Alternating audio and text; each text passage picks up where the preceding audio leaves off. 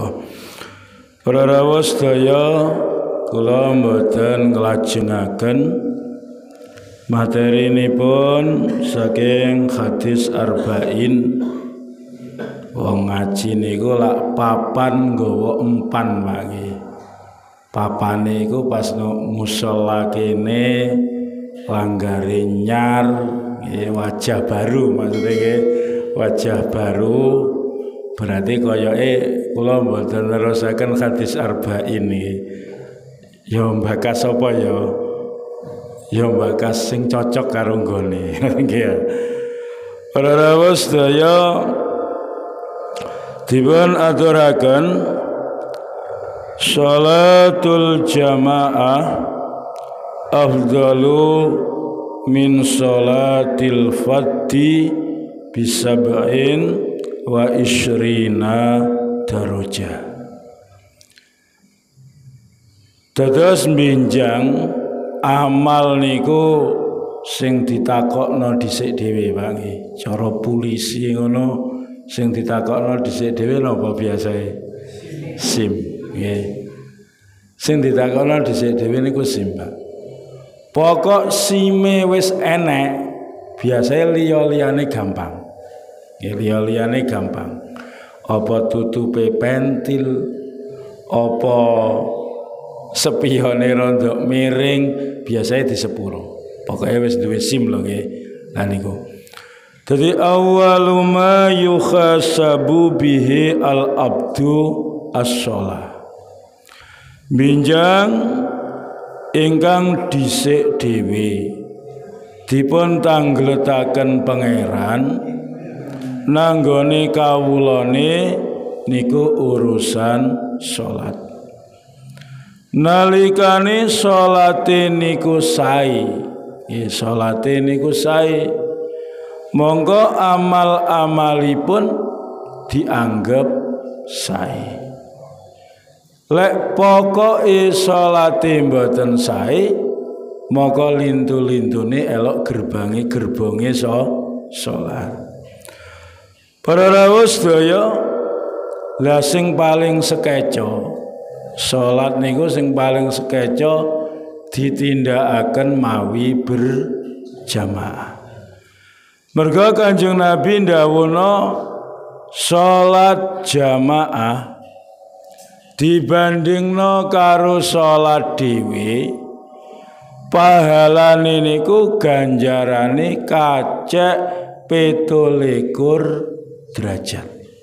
Kacekipun 17 derajat. ning donya mawon sak derajat Pak sak derajat itu sak pangkat lho Pak sak pangkat jenenge kalah pangkat Pak kalah pangkat. Kapolri karung ngisore kacek rong pangkat iso nyepot Pak. To. Lek Kapolri jenderal lek Kapolda biasanya mayor jenderal Gitu, kacek sak seret nih. Mergo kacek sak seret itu ya limang tahun loh pak nggih. Disadui dhisik ngono ya.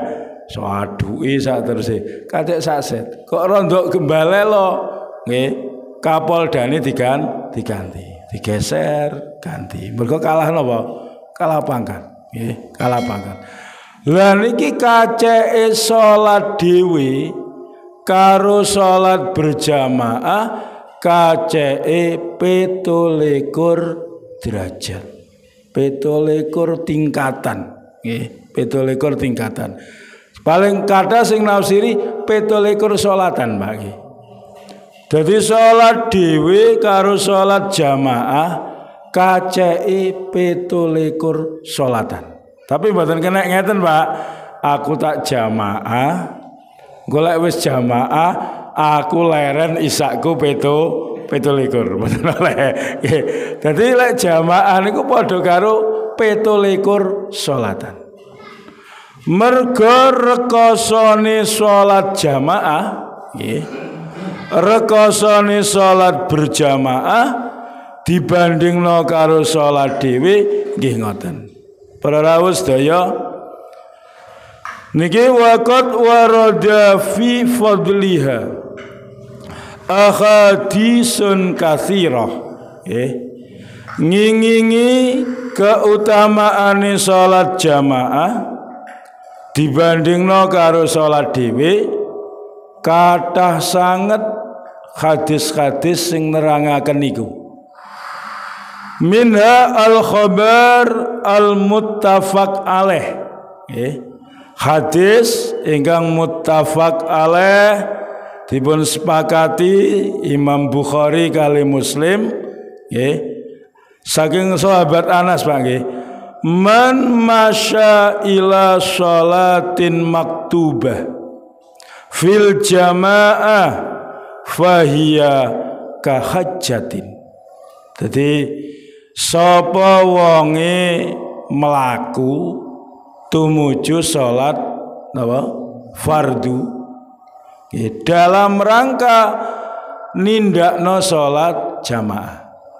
Misalnya masyarakat diadani salat isya diadani salat maghrib diadani salat zuhur utawa asar. Lajeng teko daleme teko omahe ngambil wudhu terus melaku budal nang musola utawa budal nang masjid. Ganjarane menika kahajatin kaya wong kaji Pak sajane kuwata lho Pak ganjaran kaya kaji niku ka kata tapi jane ya rada nelongso ya Wak Sodik ya kepengin budal. Tapi awake sing ganjaran niku kaya ka kaji niki pun buka Pak. Pun buka kalau wingi wis ping pindho sing oleh rekor akeh dhewe niku Indonesia Pak banggaan Pak. Sing semangat budal niku wong Indonesia. Nggih. Biasanya telu lekur paling dek telung puluh songo. Eh telung puluh songo.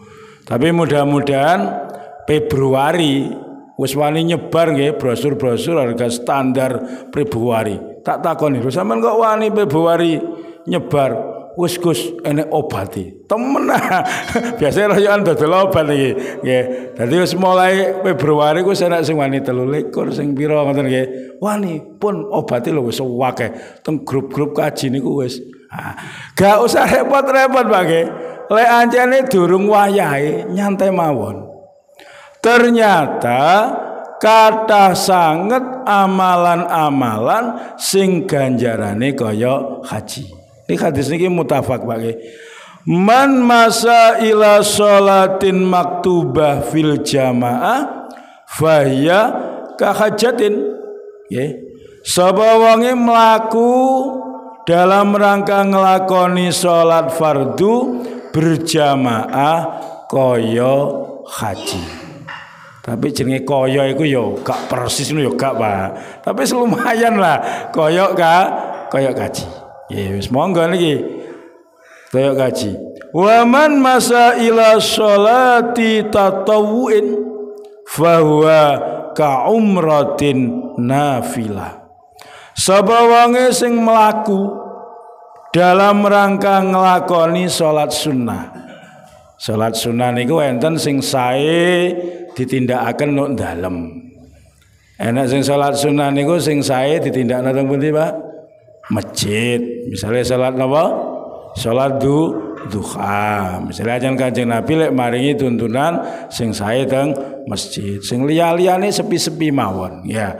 Tapi dalam rangka taklim proses pembelajaran nggih oleh. Misalnya ngeten iki bareng-bareng tapi awake dhewe mboten nglakoni Pak nggih.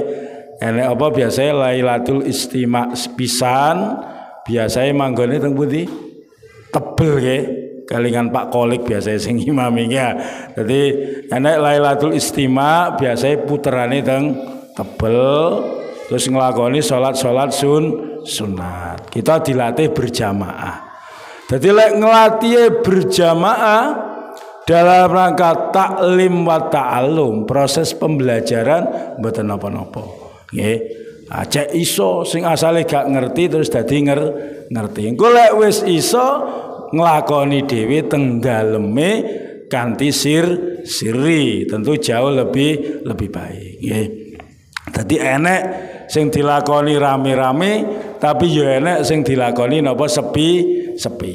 Amal niku enek sing di derek nabi ini enek sing rami-rami. Lek ngaji ngeten iki saya nggih kumpul wong akeh, Pak. Nggih. Aku tak ngaji dhewe nuk pawon, mangan ning kok tambahan. Ya.